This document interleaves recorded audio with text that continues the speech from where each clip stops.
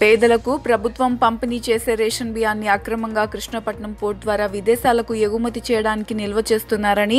పోలీసులకు సమాచారం రావడంతో ఫిబ్రవరి ఇరవై తొమ్మిదిన కృష్ణపట్నం కస్టమ్స్ అధికారులు నెల్లూరు సివిల్ సప్లై అధికారులు మరియు నెల్లూరు విజిలెన్స్ అండ్ ఎన్ఫోర్స్మెంట్ అధికారులు సంయుక్తంగా కృష్ణపట్నం పోర్ట్లోని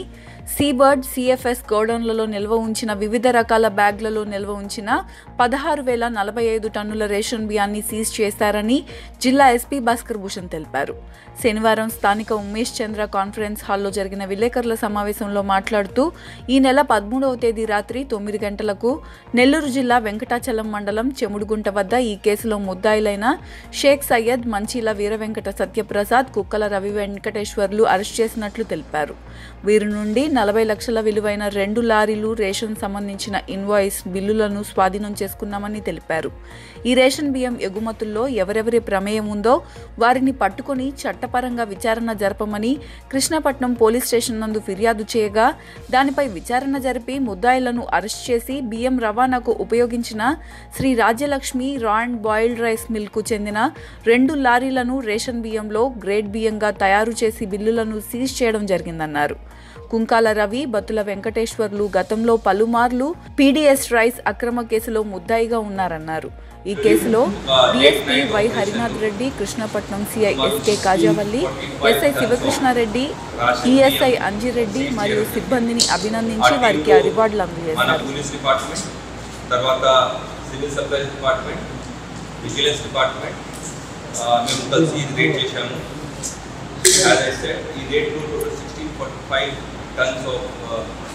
ration బియ్యం సీజ్ చేయడం జరిగింది సుమారు worth around five and half crores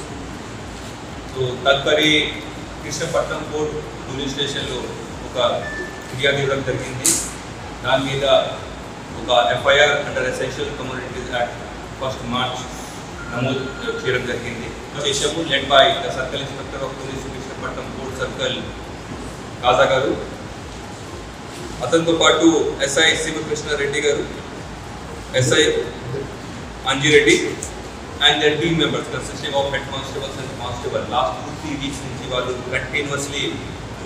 Vijayawada Guntur Delhi Rajasthan అది అన్ని ఏరియా తిరిగి ఈ ఫుల్ ఒక గ్యాంగ్ని పట్టుకోవడం జరిగింది. ఈరోజు నలుగురు ఎక్స్క్యూజ్ని ముద్దాయిని పట్టుకుని జ్యుడిషియల్ కస్టడీకి పంపిస్తున్నాము ఇంకా కొంతమంది అరెస్ట్ చేసుకోవాలి. అదే side along with five and half crores of rupees worth of PDS rice two lorries to total around six crores worth of property seize చేయడం జరిగింది. సో ఇందులో ముందు మీ అందరికీ మేము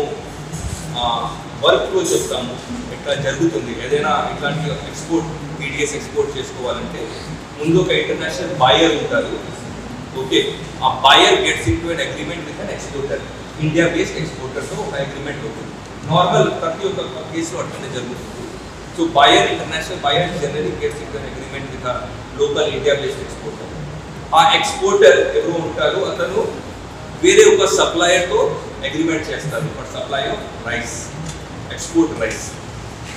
this supplier in turn will be having written or unwritten agreements with different rice millers and కొంతమంది అప్పుడప్పుడు బ్రోకర్స్తో కూడా టచ్లో ఉంటారు and then they will procure rice and then export చేస్తారు త్రూ ద ఎక్స్పోర్టర్ మధ్యలో కస్టమ్స్ హౌస్ ఏజెంట్స్ వాళ్ళు కూడా వస్తారు ఎందుకంటే కస్టమ్ హౌస్ ఏజెంట్స్ నుంచి కస్టమ్ క్లియరెన్స్ రావాలి and then of course customs uh place where housing agencies ఉండాలి వేర్ హౌస్లో అది పెట్టాలి and then from there the export happens through the sea ports so this is the overall flow chart of any legal or illegal export of rice which is happening here. So mostly it will be legal. అప్పుడు అప్పుడు కొన్ని illegal అట్లా వస్తూ ఉంటాయి so మేము కూడా rate చేస్తూ ఉంటాము అండ్ కేసెస్ చేస్తుంటాము this particular case was an illegal supply of illegal supply of Togo Togo అనే ఒక ఆఫ్రికన్ కంట్రీ ఉంది so international export company Moi commodities India private limited నేను ఎక్స్పోర్టర్ గురించి అన్నాను చెప్పాను కదా they got into an agreement with a Togo based buyer which is in Africa uh African కంట్రీలో that Togo based company they wanted rice but supply of rice uh కంట్రీలో తక్కువ ఉంది కాబట్టి ఇండియన్ ఎక్స్పోర్ట్ చేయడానికి they got into an agreement with Moi commodities This Moi Commodity, which is an export company, got in turn agreement with a supplier ఇక్కడ నేను చెప్పాను కదా exporter go gets it agreement with the supplier which is SMR traders in our case Vijayawada based company SMR traders is the supplier this supplier in turn as I said కొంతమంది rice millers and brokers తో touch లో ఉన్నారు and what they used to do is that this PDS rice కి export quality rice తో mix చేసి they were planning to export it. So they were planning to do it. ఆ process మనకు information వచ్చింది and ఆ joint team ఏర్పాటు చేసి rate చేయడం జరిగింది and you are able to catch total sixteen forty five tons అందులో eleven hundred and twenty two point five tons were procured by Moi communities exporter to SMR trading ఇంకా వేరే కొన్ని ఆ, కొంతమంది సప్లయర్స్ ఉంటారు so almost eighty to ninety percent was supplied to SMR trading company which is the supplier to Moi commodity which is the exporter So this is how it happen total నలుగురు accused ఉన్నారు ముద్దాయి ఉన్నారు ఇప్పుడు షేక్ సయీద్ అనే ఒక మంచి son of Saleem age thirty four years who is the owner of SMR traders Vijayawada based company which is an uh, supplier. Then Manchila Veera Venkat Shiva Prasad, he is A2, who is the operational manager of Moi Commodities India Private